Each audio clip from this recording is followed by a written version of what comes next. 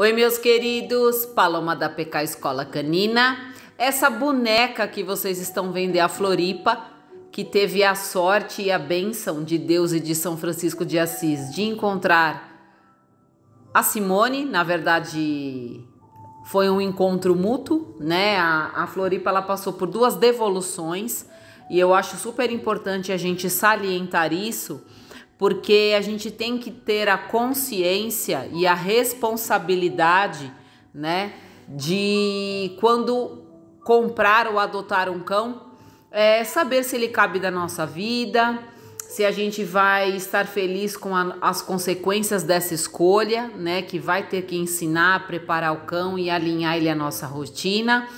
A Floripa encontrou a Simone, elas estão super felizes. Agora a gente vai trabalhar essa ansiedade de separação, alinhar um pouquinho o passeio e essa princesa vai ficar maravilhosa em todos os sentidos e super parceira da Simone. Certo, meus queridos? Então, um beijo, bora acompanhar a evolução dessa boneca, dessa dupla aí. Vai ser uma bela parceria. Um beijo, até o próximo vídeo.